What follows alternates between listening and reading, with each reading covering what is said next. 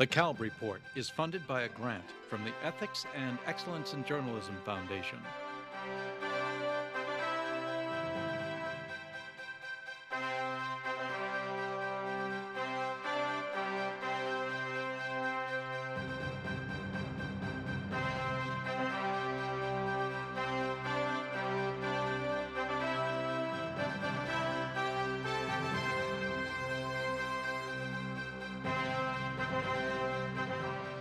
National Press Club in Washington, D.C., this is the Kalb Report with Marvin Kalb.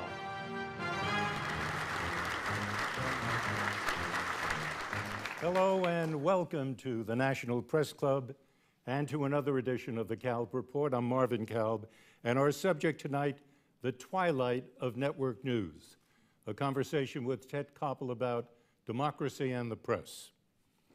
I use the word twilight to suggest that network news, as we've known it, is on its way out and something new is emerging. Whether what's new will satisfy the urgent needs of our democracy cannot be known at this time. Let's hope that it will.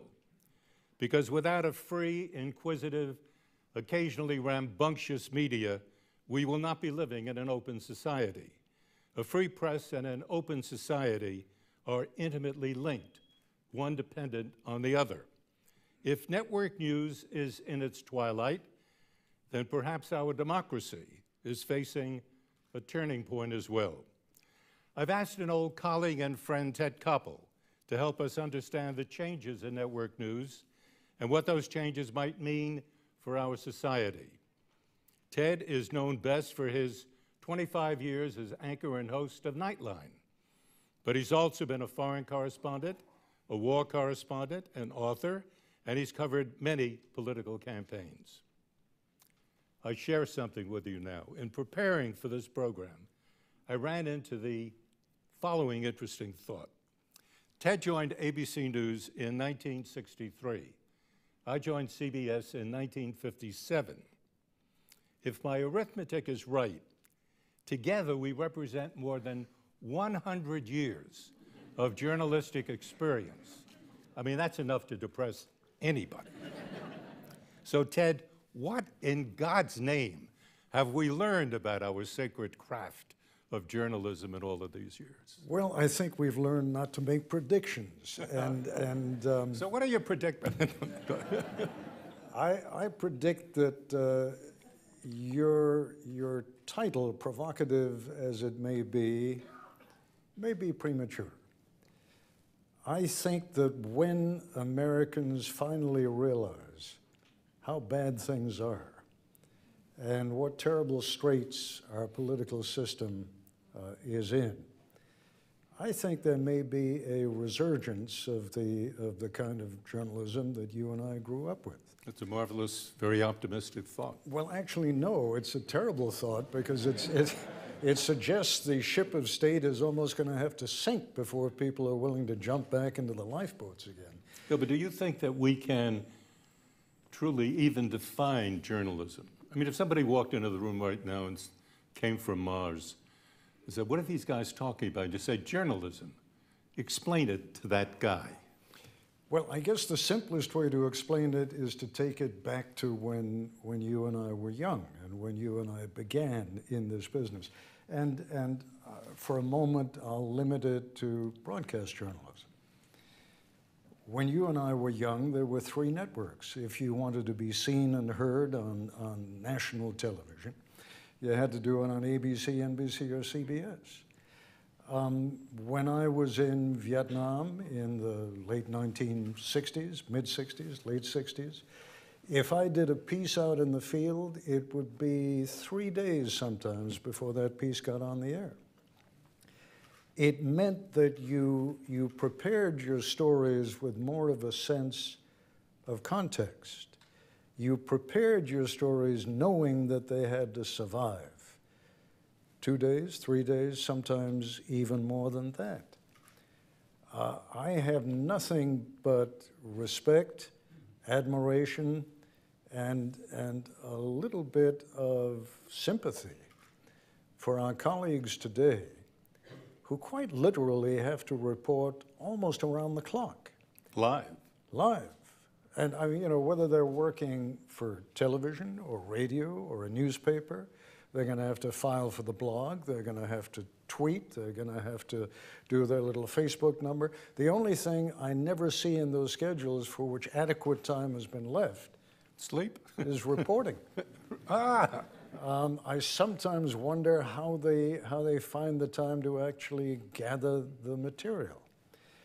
But it's all there. We have more media available to us today, more means of communicating information than have ever existed in the history of the world. We're so enchanted, though, with our ability to be fast that I think we've sometimes lost connection with what we're saying and why. I want to pursue that, but I want to ask you first why did you even get into this business? Oh, I got into it uh, probably for much the same reason you did. Uh, now, that's unfair because what I'm going to say is I, I, don't think I would have been terribly good at anything else. um, when I, I was born and, and uh, spent the first 13 years of my life in England, uh, my father listened to the BBC during World War II. I was just a little tyke in those days, but I still remember, at least my, my memory may be playing tricks on me, but I think I still remember hearing Edward R. Murrow's reports being rebroadcast on the BBC.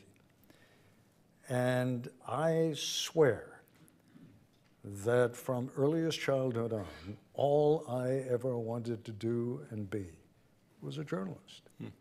Preferably as, as close to Edward R. Murrow as I could make it, which, which probably isn't too far from what, what No, not too far you. at all. Murrow um, I, I did a piece for the New York Times Magazine section on Soviet youth, I think in, in the spring of 1957.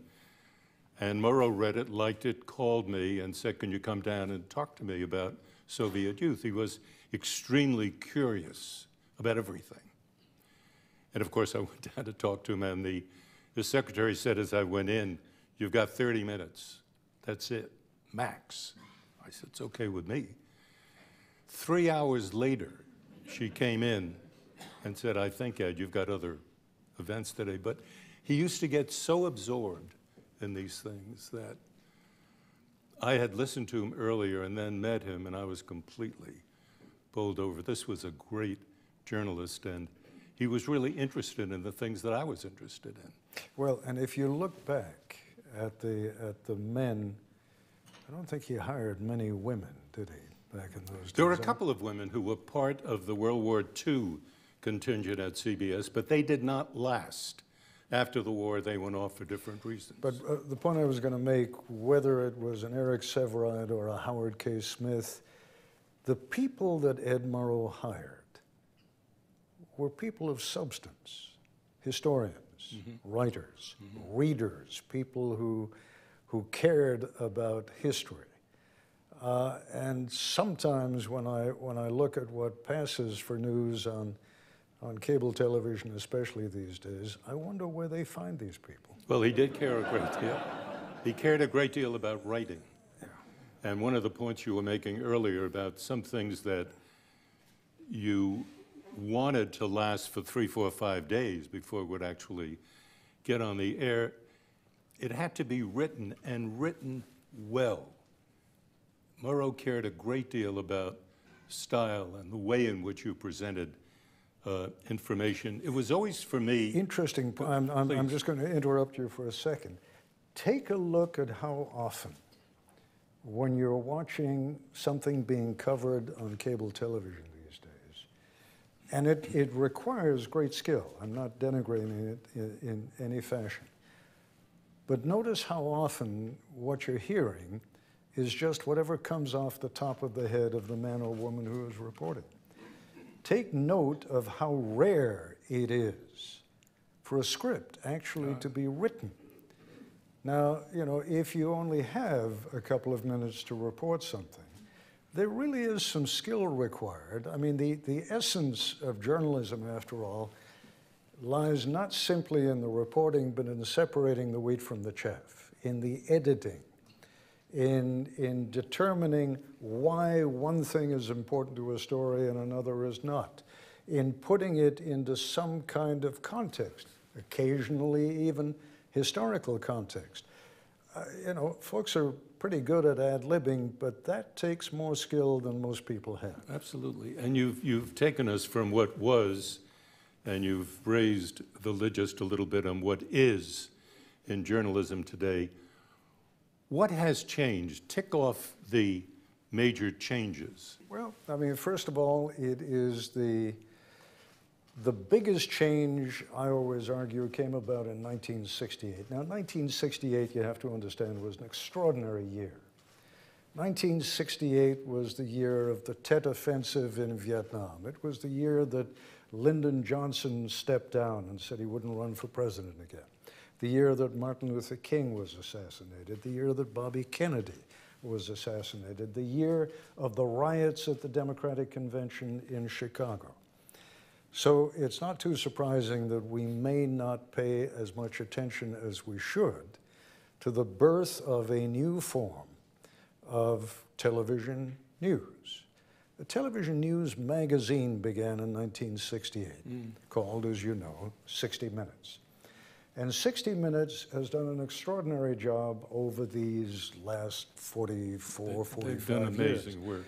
Amazing work. But it also did something that no television news program had ever done before. It made money. Ah. It turned a profit. And that, to be clear about that, up to that point, it, if it happened, it was rarely spoken. It was a rare of. thing. Yes. And we were, for the most part, a lost leader. Television news did not make money. Well, tell, tell folks what, what the famous, uh, wasn't Frank Stanton, it was uh, the, uh, Bill Paley. Bill Paley, who came to you folks who were producers and journalists at CBS and said, remember? Well, he, he used to call us the jewels in his crown. Well, he also said, don't worry about making money. I've got, I've got I've Jack, got Jack Benny. Benny to make money for right? me. Yeah. That's right. Don't, you guys don't worry about that. And what that meant was that when we went out to do a story, we were totally absorbed in the story. We weren't worried about how much money it would take to cover the story. We just did it. Even, even as late as 1980, I remember being able to charter a plane from Rome to Istanbul because you thought you might be able to get an interview with somebody important for your piece.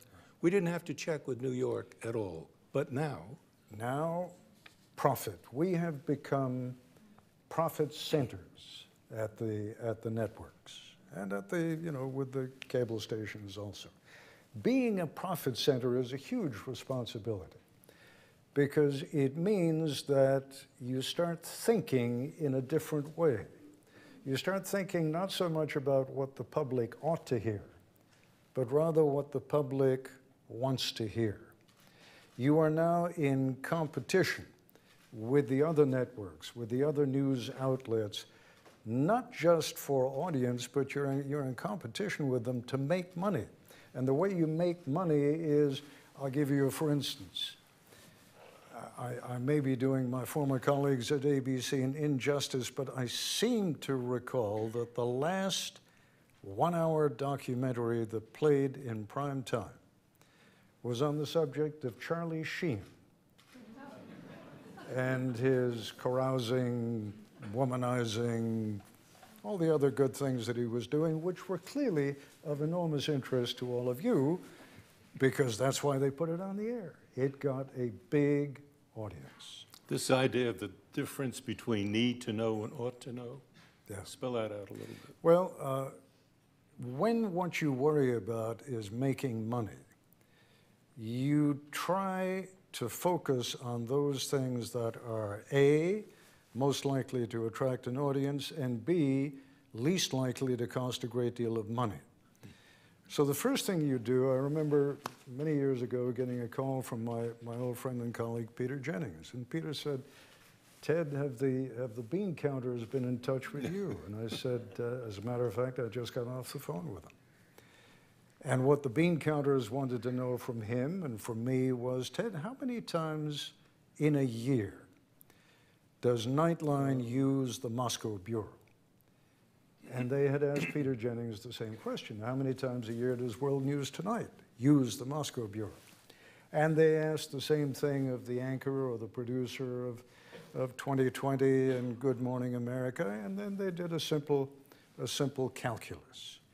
So the Moscow Bureau costs, let's say, $2 million a year, and among all the ABC programs, it was used, let's say, 50 times a year, 50 into 2 million, $40,000 a report? Wow. Closed down the Moscow Bureau. Mm. And what happened with the Moscow Bureau at ABC has happened, for the most part, at NBC, at CBS, right. at ABC. Most of the overseas bureaus now are essentially just mail drops, where you may have some local employee keeping the office open, and when something really big happens in Cairo, when something really big happens in Mexico City, in Beijing, in Hong Kong, what you do is you ship in one of the star correspondents or even an anchor. But the difference between covering the news year after year after year in a country, maybe even learning the language, certainly getting to know the people, getting to know who the movers and shakers are, and what the political dynamic in that country is, that really is not happening much anymore. I want to talk to you a little bit about the role of cable television, which you touched on before. In a recent interview with Bill O'Reilly of Fox, you derided ideological coverage of the news bad for America, you said, making it difficult, if not impossible, for Congress to reach across the aisle and find compromise. You also wrote in an op ed piece this is not good for the Republic. What do you mean? Uh, what I mean, and this goes back, it's really a continuation of the same theme. I mean, first of all, uh, in addition to demonstrating that network news divisions could make money, there was a technological explosion. It wasn't just the three networks anymore. Now you had cable, you had satellite television, you had the internet. So now there are quite literally hundreds even thousands of competitors out there. What is incredibly cheap to put on the air is a couple of people like you and me just yelling at each other. Talk. Right? Talking. What draws an audience is when, in fact, we disagree, when, in fact, we get nasty with one another. And what Rupert Murdoch and Roger Ailes demonstrated 15 years ago is that there really was a hunger in America for something that was less liberal than what the networks were putting on the air. And so Fox News was born, and Fox News has been hugely successful. Earns somewhere between one and one and a half billion dollars a year. Now, my current employers, uh, the folks over at NBC, had their own cable network, MSNBC. Wasn't doing very well, wasn't making any money. And they took a look at what Fox had done and they said, whoa, if they can make a billion and a half dollars a year doing news that skews to the right, if we only make half of that, that's still $750 million a year. Let's skew to the left. And so you have on cable television news that caters to people who consider themselves progressives, news that caters to people who consider themselves to be conservatives. You have the afternoon radio talk shows, the evening radio talk shows, which cater largely to the conservative. You have the late night comedy shows, Jon Stewart, Stephen Colbert, Bill Maher, that tend to cater more to the left. And the end result is that the, the area that has, that has gone more or less fallow is serious news organizations reporting the important events of the day without any kind of political bias. We have grown up as a nation now believing that we are entitled to hear views that essentially resonate to the views we already hold. And the end result of that becomes, and we have seen it this year with a lot of distinguished senators, congresspeople leaving because their Olympia Snowe left the Senate because she, she simply can't handle the nastiness anymore. And there's an awful lot of that, and you cannot in a democracy. You made, you made the point. Let me, let me just finish this one line, Marvin. You cannot, in a, in a democracy, expect people to be able to reach across the aisles and make the accommodations for important issues if they are terrified that in so doing they're going to expose themselves to the wrath of either the right or the left, either Jon Stewart's humor or Rush Limbaugh's sharp tongue. So what you said um, not too long ago was that the commercial success of both Fox and MSNBC has become a source of nonpartisan sadness for you, Absolutely. meaning what?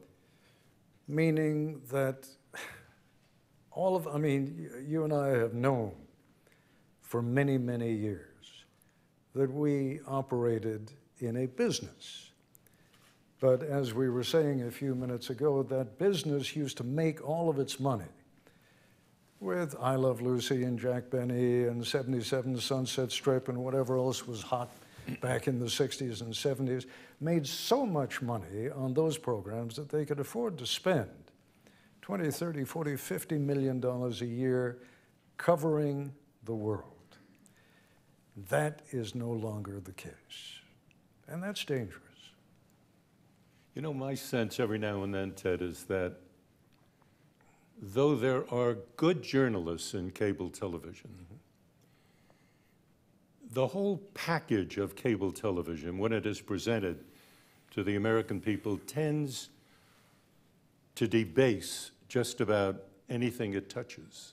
That doesn't mean that every conversation is bad, but it does mean that the package to me comes through as, um, as a negative, as something that makes fun of people, that is overly critical, that is not real.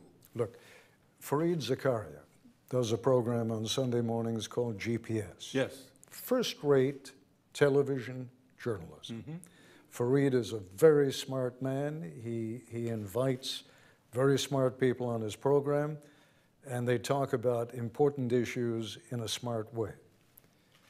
I doubt that he has 200,000 people watching that show. I mean, it's mm-hmm. probably a fairly big audience if he gets that many.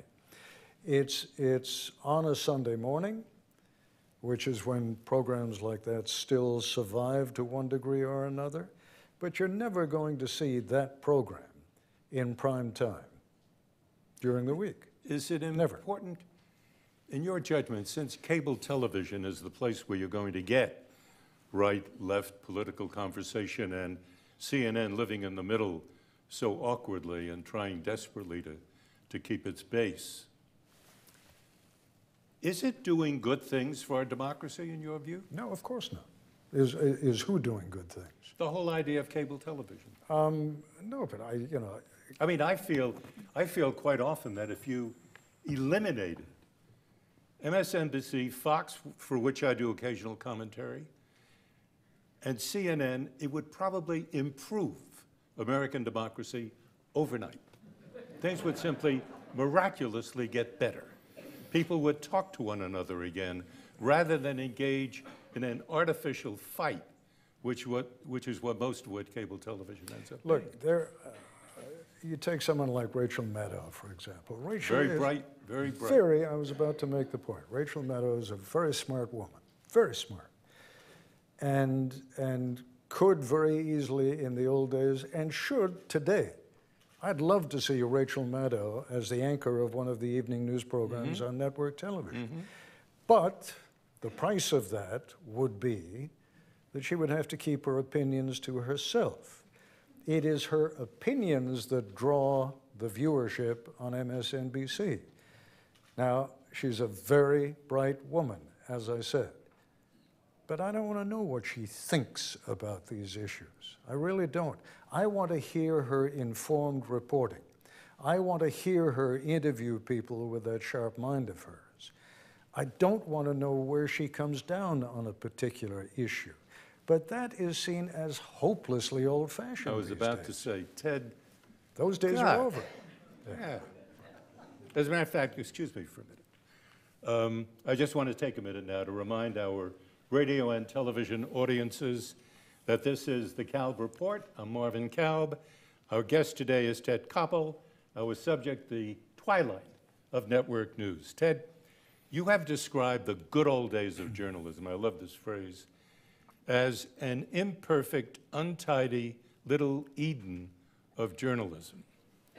You then went on to say that these days, broadcast news has been outflanked, overtaken by scores of other media options.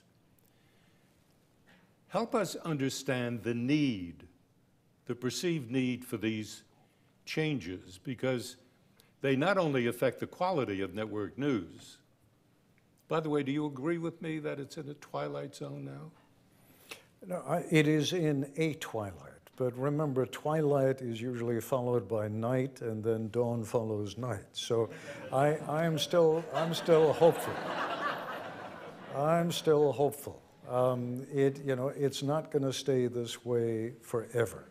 I think, you know, what tends to happen in this country, Marvin, as, as you and I have observed over the last 50 or 60 years, politically, we tend to go too far to the right, and then we, we correct course and we pass through the middle, and then we go too far to the left, and then we correct course again. I think what's happened to broadcast journalism requires a course correction.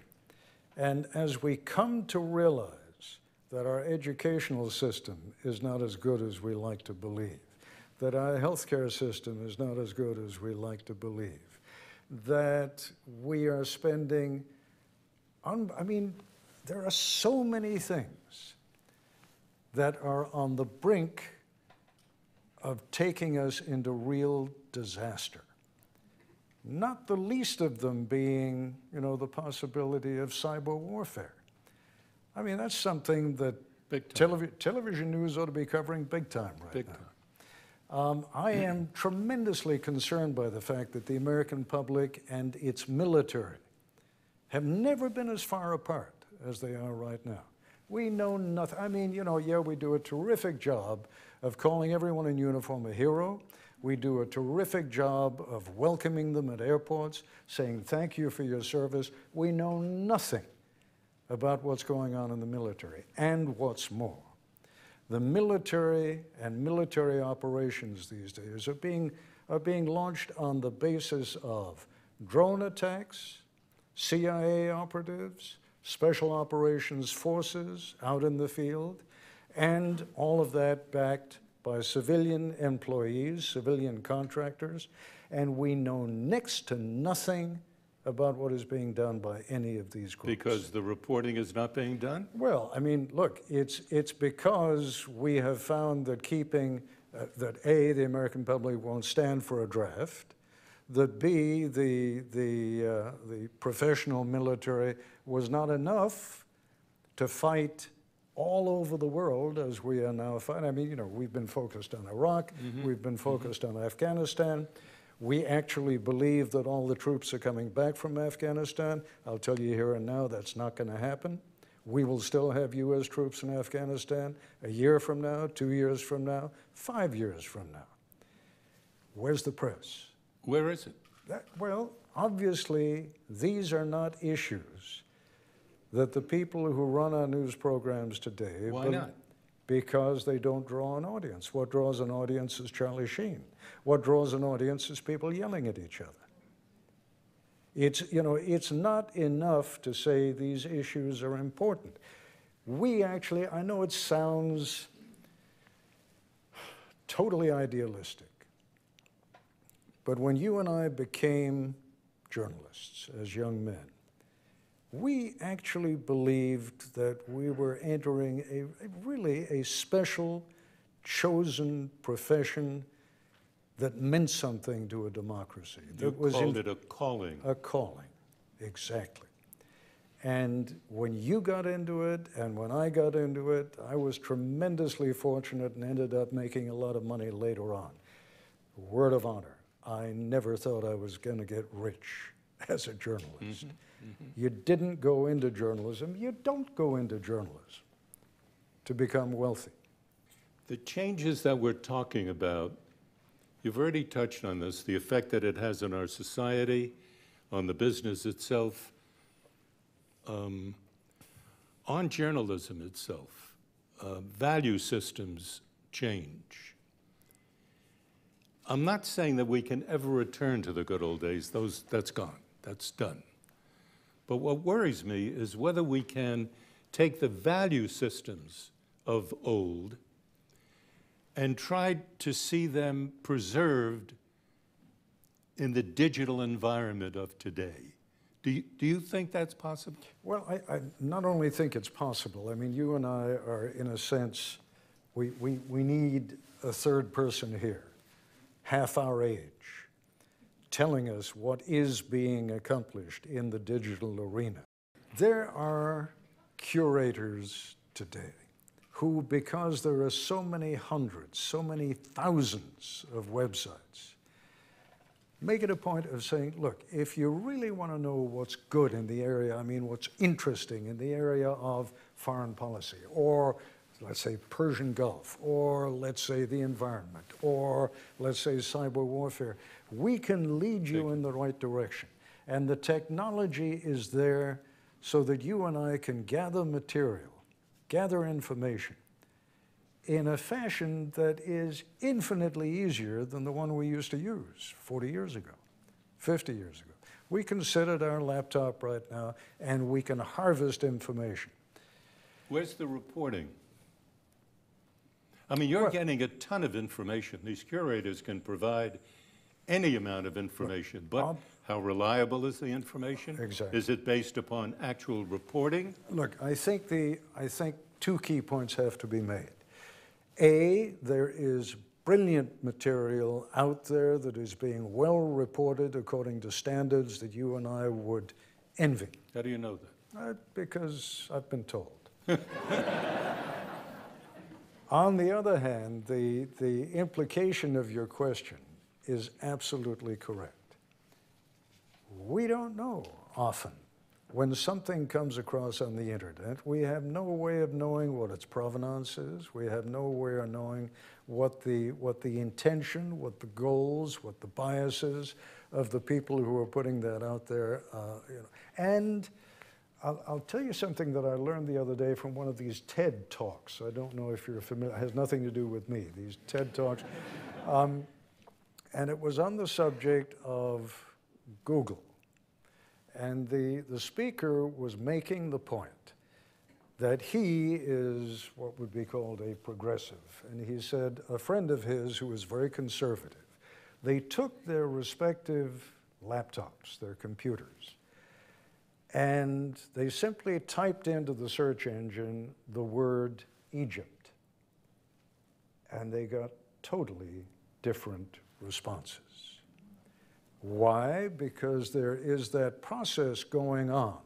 Every time that we search for something on our laptop, we are not only gathering information, we are giving information. We're giving information about what we buy, about what we find interesting, about what we like, about perhaps what our, what our political biases may be, so that in theory, a search engine that ought to be giving me objective information, and you and I ought to get the same information if we type in the same, the same word. Mm-hmm.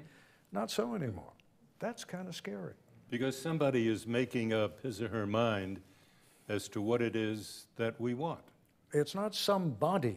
It It, is, it, is a, it is a series of O's and ones. It is a series of, it is, it is the computer. What is the word I'm looking for? The algorithm. Thank you. It is the algorithm. the which is- algorithm uh, is fine, and I understand that it exists, and I respect it, and I will salute it. It's there. But I want to know what all of that has to do with journalism. Who gets up in the morning and covers something? Who's going to go out and cover a war? Who's going to go out and cover a campaign? Without the journalist being there doing the ABCs of information gathering, honest information gathering, all of this other stuff is baloney to me. You're, I mean, look, there, there are plenty of people who are going to be out there doing the gathering. But the, the key In word, fact, uh, let me interrupt, that's not true. well, In the coverage of war today, there are fewer reporters covering the war in Afghanistan now than there's ever been. Fewer. When you went in in the Iraq war, fewer American reporters. American and others as well. Well, look, I frequently of an evening now will watch the BBC or Al Okay. Jazeera because, particularly when things are going on in the Middle East, I'm going to learn more from the folks out there who actually speak Arabic and know the area, know the region. But do we know that they are reporters? Well, We know they speak Arabic. No, we know that they are reporters. Do we know that they are objective reporters? That's a different Uh, okay. question. Well, do we know that? We No, don't. We don't. But the fact of the matter is, we've almost given up on objective reporters in our own country. We That's have. my question. It is still possible. It is still possible, and you and I do it every day. To pick up the New York Times, to listen to NPR, to pick up the Wall Street Journal, Yes, yes. to watch the, the news hour. Mm-hmm. The, the outlets are there. We have to look, I mean, you know, our old friend Jim Lehrer used to say, we're the program that dares to be dull. Mm-hmm. And I once said to Jim, sometimes, my friend, I think you're a little too daring.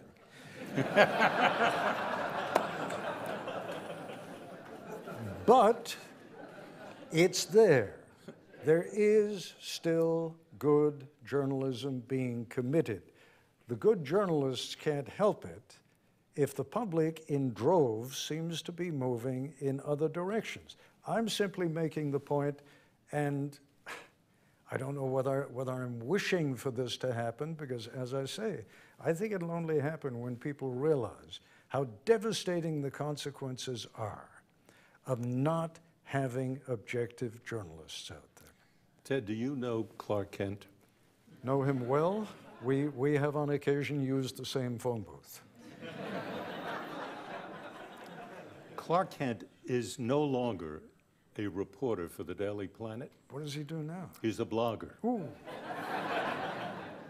I mean, if you pick up, if you pick where, up, where does he change? well, do probably in the curator's kitchen, Yes. someplace like that.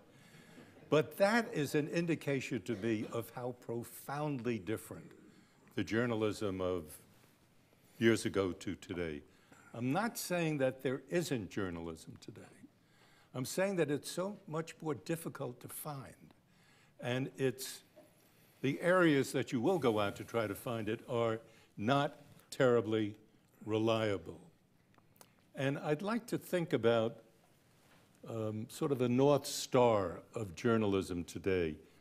When you started, you had somebody like Roone Arledge at ABC who did extraordinary things at that network, including starting Nightline. I mean, with me, it was Ed Murrow and a lot of other people at CBS. But who are the Arledges and the Murrows of today in today's world? Look, the fact of the matter is, when Roone Arledge came on, he had been the president of ABC Sports. And we at ABC News were terrified of this guy who came in wearing his jungle suit and, and his red, I mean, his, his golden uh, bracelets that he wore.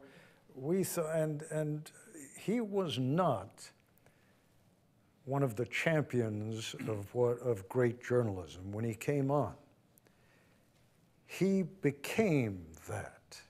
He evolved, and he evolved in some large measure because he ran up against immovable objects like Howard K. Smith and Frank Reynolds and people who still believed that good journalism was important. And But nobody he turned. He He recognized the good journalism and moved toward it. Well, he recognized it, but uh, look, I'll, I'll tell you the backstory of Nightline.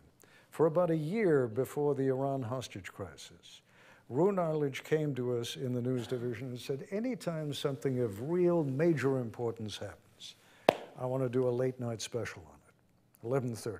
10 minutes, 15 minutes, I don't care. He was trying to, he initially wanted to get a one hour newscast on at the dinner hour at 6.30. The affiliated stations around the country would not go along. Hmm. So Roone decided that he was going to seize that time period. And by the time we got to the Iran hostage crisis, after about the fifth day, the sixth day, the seventh day, we were running out of things to say. We were running out of things to report. And Roone said to us, I don't care. Tell me what the difference is between a Sunni and a Shiite. Tell me about the Shah and how he came to power. Tell me, I don't care what. He kept that program going because he recognized that there was a tremendous American appetite for this story. Had it not been for that appetite, Nightline would never have been born. And also, um, you were at ABC, which did not have a very important program in that time slot. That's correct. In You didn't have a Tonight Show, for example. Or a Letterman show. Or the That's Letterman right. show, something But- like that. But I'll tell you something, and one of the things that has changed enormously. When Nightline began in March of 1980, you had uh, on, uh, you didn't have the Letterman show yet on CBS. They would rerun some old cop drama. But among the three programs, The Tonight Show, the cop drama, and Nightline, we had 70% of all the homes watching television at 11:30 at night. Really? 70%. These days, The Tonight Show, Nightline, and uh, The Letterman, Show are lucky to have 25%. That's what's happened because what you didn't have 35 years ago was cable, satellite, uh, you know, the internet, and all of those things have diluted the importance and the reach of the network. So maybe Twilight is too soft a word. No, because you still have, I mean, even though it's only 25%, the evening newscasts, for example, uh, among the three of them, I suspect they still have between 15 and 20 million viewers every More night. More than that, 20 to 25 million. 20 to 25 million. When you and I were reporting from the State Department, It was more than that. it was 40 million, 50 million. I mean, I think Cronkite alone probably had about 20 million people. Um, Every night. Um, Yeah. No, no, that, that, that certainly is true.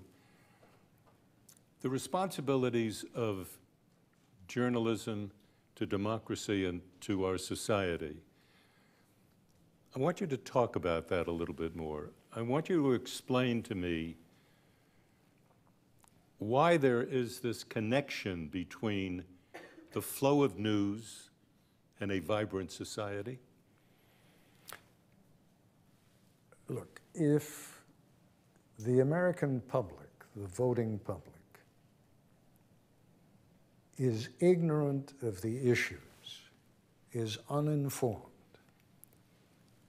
how can it make intelligent decisions about whom to pick? It's bad enough that the Citizens United decision of the Supreme Court has now resulted in, I think the New York Times the other day said that the amount of money that was spent on all the election campaigns, all of them, $6 billion. Oh. Now, I, I was shocked by that. I moderated a discussion the other morning between Karl Rove and James Carville, and Rove's How reaction. lucky can one uh, I- guy be? No, I was- It was actually, it, it was fascinating, but, uh, you know, Mr. Rove made the point that we spent infinitely more than that on dog food. That's absurd. Yes, it is. It is. Because much as I have always loved our pets and, and love pets in general, the fact of the matter is if our elections end up being reduced to the snarling and shouting and innuendo, Uh, you know, people keep saying, well, things were much worse in Jefferson's time. Yes, they were. But you only had broadsheets that were being distributed. You didn't have everyone walking around with his or her own little communications device. Information now is spread so ubiquitously, is spread so quickly, so instantaneously, that if we don't have reliable, trustworthy, objective sources of information, then our whole electoral, uh, electoral structure is going to collapse of its own weight. You know, Ted, there was that um, CNN story during that awful Hurricane Sandy week Yes. about how the New York Stock Exchange was under three feet of water. Of course, it wasn't true. Right. Wasn't true at all. CNN got that story not from one of its reporters. CNN got the story from an online message board on the National Weather Service's website.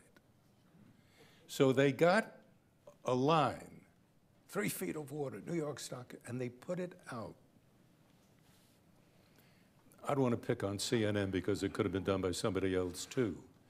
But that to me is one of the dangers in trying to retain a best standard, some practice, some place where you can turn and say, this is the right way of doing things, and this is simply wrong. And I have the impression these days, despite um, all of the good things that you have said about all the curators and whatever, all of that stuff being said, I am left with an uneasy feeling that I don't know where all of the information is coming from. I don't have a feeling that, remember years ago when we knew every cameraman who was taking pictures of some big event in Cairo, we knew exactly. Joe Musroff of CBS was taking that picture, and you knew that it was an objective look at what was happening at that time. I don't have any feel for that at all today. I don't know who's taking the pictures. I don't know that they're even working for a network. They may be working for some small outfit hired by the network because the network doesn't want to bring in its own cameraman. It'll take too much. Couple of points. No, number one, notice the number of times if you watch more than one newscast in an evening. Notice the number of times that you will see precisely the same video on all three networks when it comes from overseas, in large measure because the networks don't have their own reporters, don't have their own camera people over there anymore, and they have bought it all from the same single source. Point number two, what is wrong, after all, with having a local reporter covering the event? The local reporter, after all, speaks the language, knows the people. Well, let's say that local reporter is reporting from Tehran. And that local reporter knows that if he or she makes a misstep in what he or she reports, they're going to be arrested. They're going to be thrown in jail. The American reporter may get thrown out of the country, but that's probably the worst thing that's going to happen. And finally, I find that there is absolutely no willingness on the part of our critics to believe that objectivity in journalism is possible. And I keep hearing that argument. How can you? There's no such thing as absolute objectivity. To which I say, when you go to hire a lawyer, do you ask that lawyer, tell me, do you like me? I mean, do you really, really like me? Because if you don't like me, you're not going to be able to put your heart into this thing. You expect that lawyer to act as a professional. When you go to see a doctor, you're not asking that doctor what his or her politics are. You simply want that doctor to deal with you on the basis of her best professional expertise.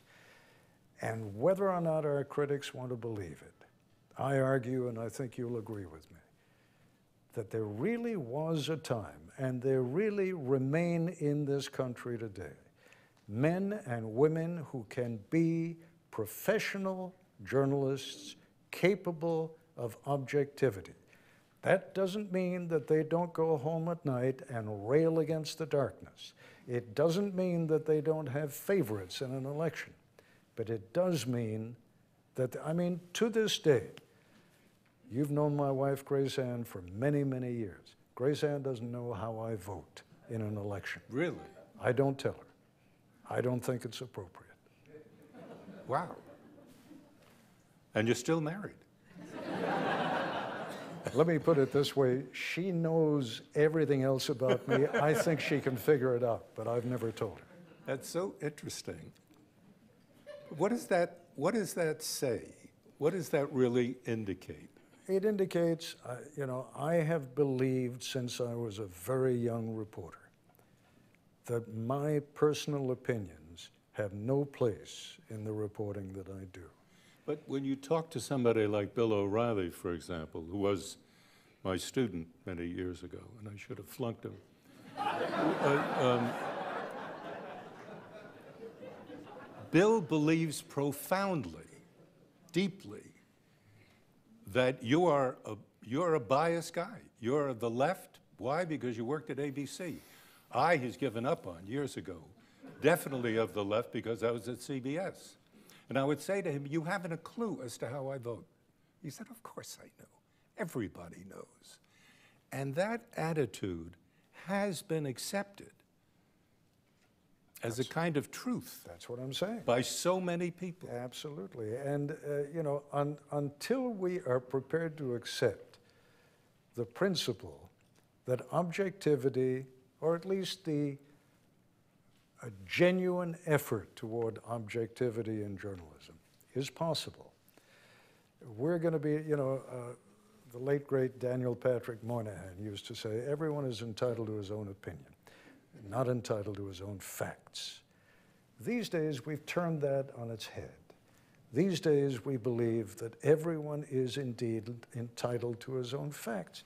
You want right wing facts? We've got the factory for you. You want left wing facts? We've got the plant that'll put it out for you. So, how can we make it clear to people that if they watch, for example, NBC Nightly News, the CBS Evening News, World News Tonight, there is there is a basic impulse there on the part of the anchor and the reporters to tell it straight. But cable is where you're getting the opinion. Yeah. Cable says you're getting opinion also on the networks. So everybody is running around in a circle, pointing fingers at everybody else, saying, you're as biased as everybody else, but you're not admitting it. Look, I think the, I, I don't think it's so much a matter of bias at the networks.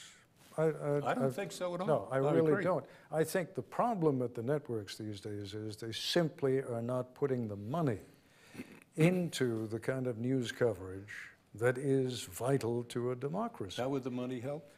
The money would help in that you would, for one thing, you would open up your. When has the world ever been, in your experience, a more dangerous place than it is right now? Oh, well, and and you know, I I happen to believe that at the worst times of the Cold War, yes, we went to the brink of nuclear war with the Cuban Missile Crisis, but the fact of the matter is there was a balance between the great powers. These days, we need information from the third world more than we have ever needed it before. We don't have the reporters out there. That's absolutely true. And I'm sorry to say at this particular time that we've run out of time. Hmm. I want to thank our wonderful audience here for being so polite and nice and being with us tonight.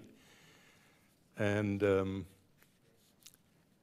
they have been able to see us in this magic of the internet.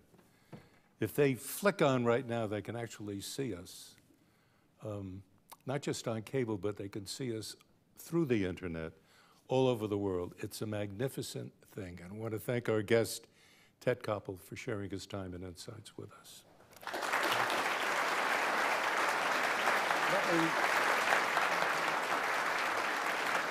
Let me, close with the following thought. We are all dazzled by the digital age, and understandably so. The speed, the access, everything live, it's truly amazing. But every now and then, I worry that we may be losing sight of the fact that this new technology is only a tool It's a tool for the dissemination of what we as journalists have discovered. It can never be considered more important than the content of what we have discovered. Hourly daily broadcasts, a story that needs telling, a crime or a misdeed or a misjudgment that needs exploring. I look out and I ask you all are there any new Edward R. Murrows in this audience? We need you now more than ever to help sustain our democracy.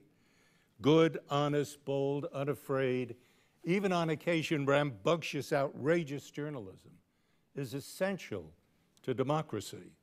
Murrow once said, This is no time for fear, and he was right. So, young Murrows, rise up. Rise up. Ted and I have done the best we can. Now it's your turn. Use these modern tools, but use them well, because otherwise, as Murrow once said, it's all just lights and wires in a box. So that's it for now. I'm Marvin Kalb, and quoting Murrow once again good night and good luck.